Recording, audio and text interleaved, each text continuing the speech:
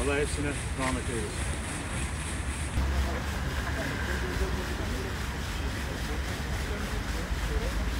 Maviler var.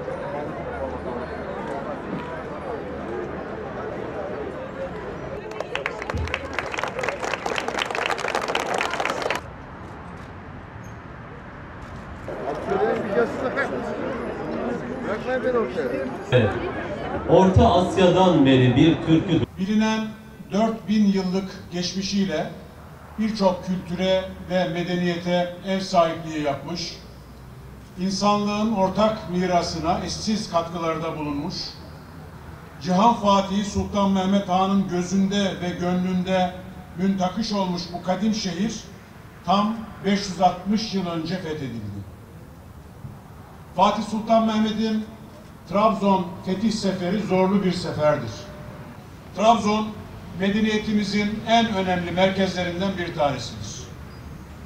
Burada sultanlarla şehzadeler, burada Ayasofya ile Gülbahar Hatun Camisi, burada Sümera ile Kızlar Manastırı, burada Kemeraltı Çarşısı'yla Bedesten kol koladır.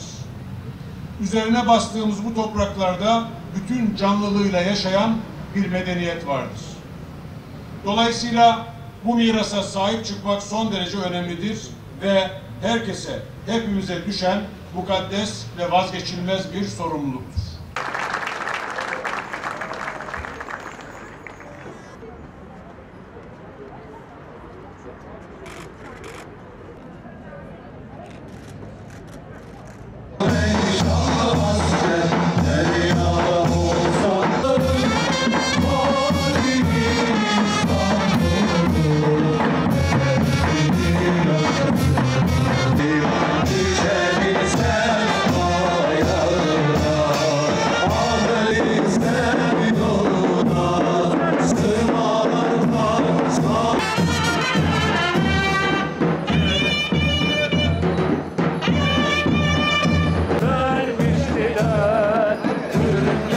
Thank you.